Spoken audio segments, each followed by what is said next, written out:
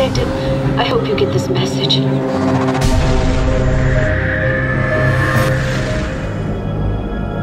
This place is overflowing with supernatural power. If you could find these objects infused with the psychic energy of lingering spirits, I may be able to get a clearer picture. I'm a psychic consultant for the paranormal TV show called Ghost Patrol, and I need your unique expertise.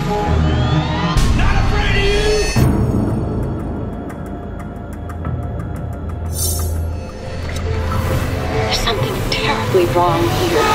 I can feel.